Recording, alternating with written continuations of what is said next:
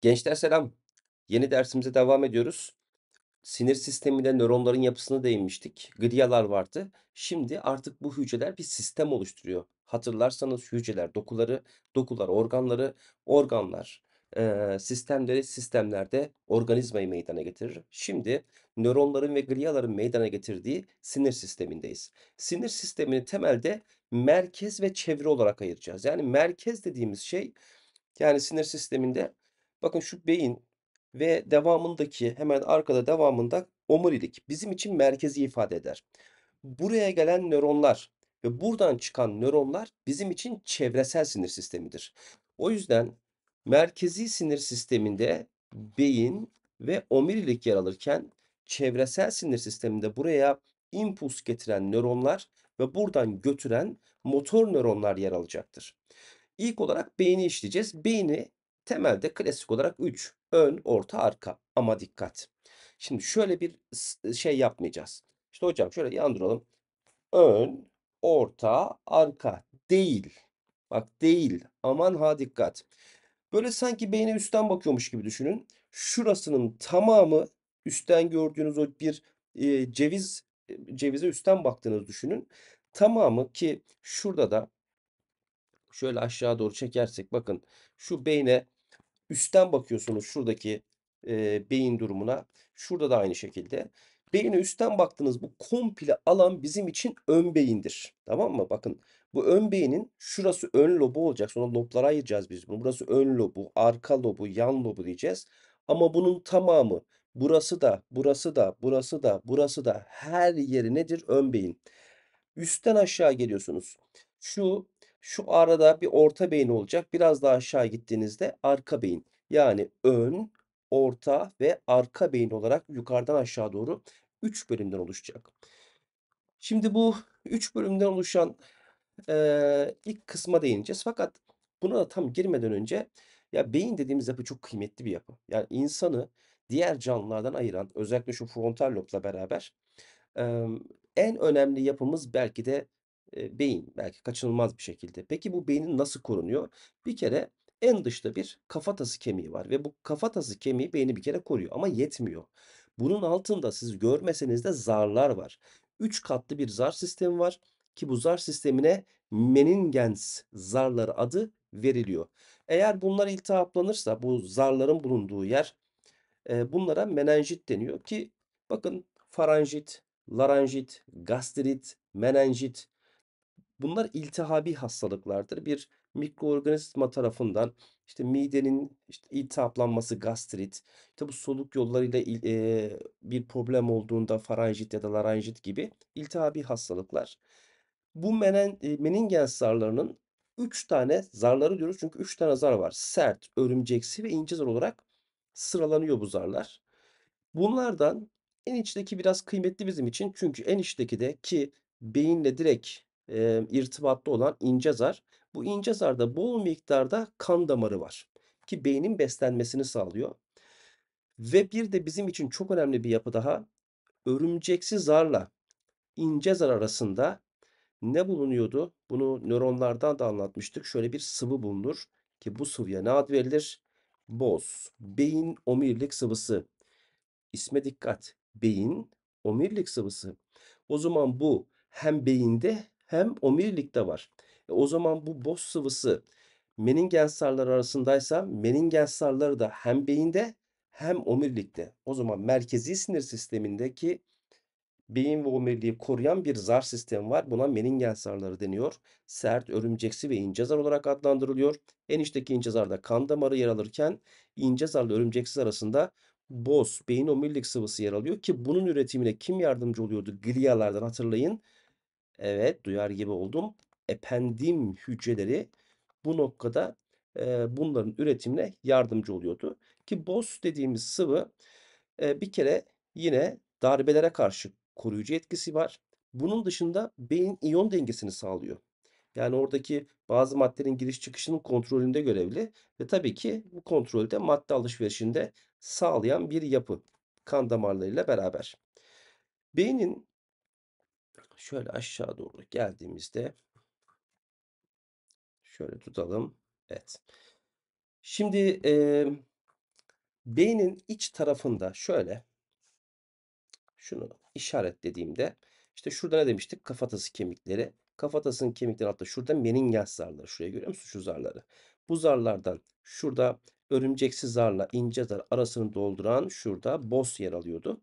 Beynin ben e, enine doğru kestiğimde, beyin kesintisi aldığımda ben içte ak madde, dışta da boz maddeyi göreceğim. Peki bu ak madde ve boz madde nerede? Bakın bir an önce söylediğim gibi iç tarafta ak madde, dış tarafta da boz madde yer alacak. Bunun sebebi ne? Bakın burada nöronlar var. Hatta şöyle eee şöyle burayı biraz büyütebilirsek şöyle büyütüp şöyle alabilirsem biraz daha büyüteyim. Bakın şurada nöronları eee, şöyle çizdiğimizde hücre gövdeleri burada aksonları da içeri doğru. Peki aksonlarda ne vardı hatırladık mı? Şöyle miyelin kılıflar vardı. Peki miyelin kılıfların olduğu yer ne yapılaydı? Lipoprotein yani ağırlıklı olarak lipid yani yağ yapıda. Siz hatırlayın yağlar nasıl görülür? Bir et aldığınızda beyaz görülür değil mi? O yüzden iç taraf beyaz renktir. Yani akı madde, dış taraf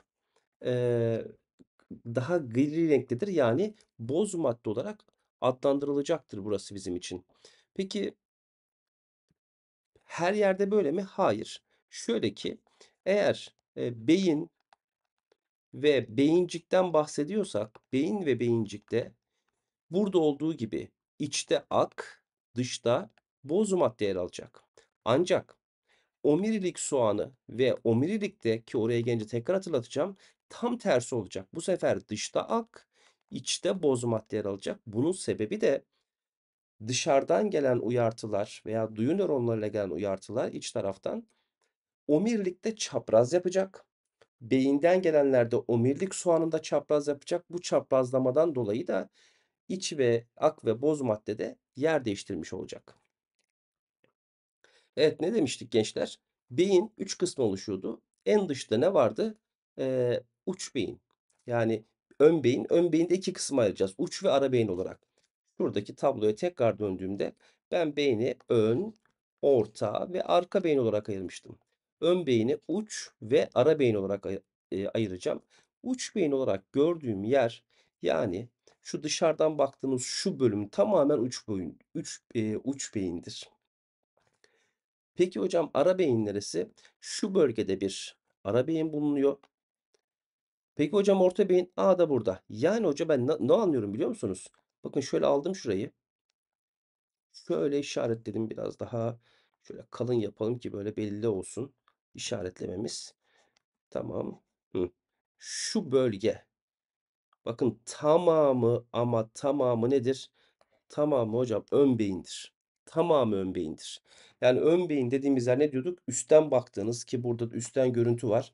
Üstten baktığınız yer tamamı ön beyin. Önce bir kere bu morfoloji yani dıştan görünüşü bir anlamanız lazım ki e, belli şeyleri karıştırmamanız lazım. Doğru bilgi öğrenmemiz lazım. Bu ön beynin şu bölgesi bizim için nedir? Uç beyin. Şu arada kalan şu bölgede nedir? Ara beyindir. Tamam biz bu buna, buna buna çok dikkat edeceğiz. Bizim için çok kritik bir durum bu. Şimdi şöyle silgiyle şurayı şöyle temizlediğimizde tamam şurayı da temizledik. Şuraya geldiğinde peki uç beyin ne yapar?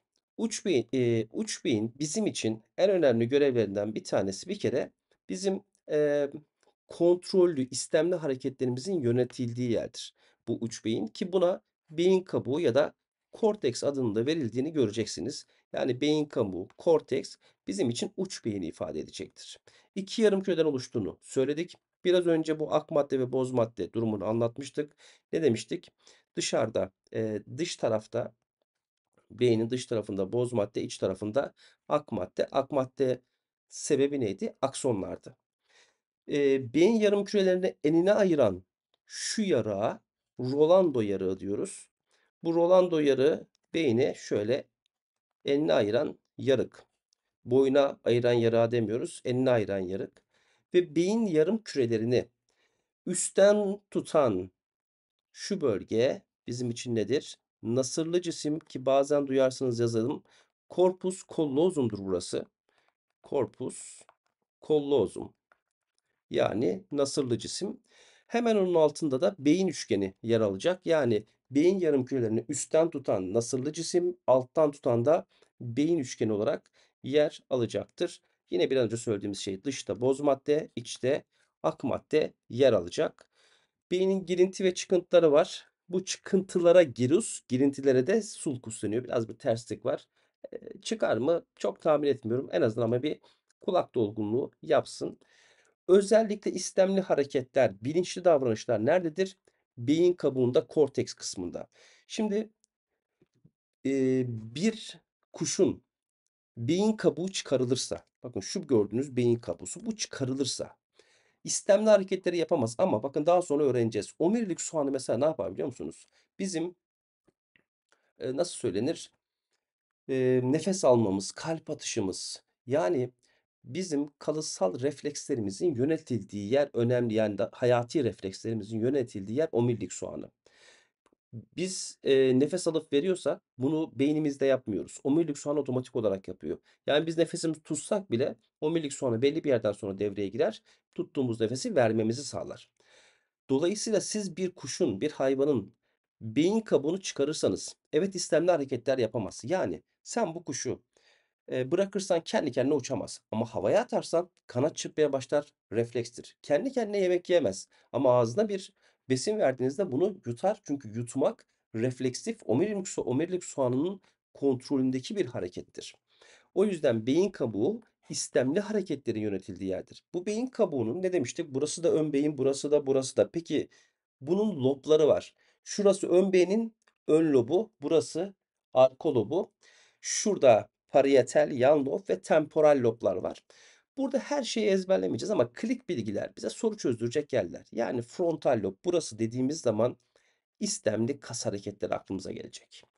Oksipital lob dediğimiz zaman ki bunu hiç unutmayacaksınız. Duyu organlarında görmenin gerçekleştiği yer oksipital lob olacaktır. Dikkat ediyoruz.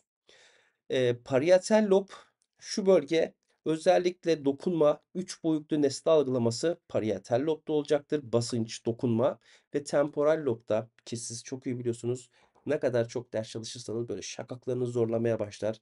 Çünkü işitme eee, ve hafıza merkezi işitme yani ders dinliyorsunuz. Buradan aklınıza gelebilir mesela şu anda ders dinliyorsunuz.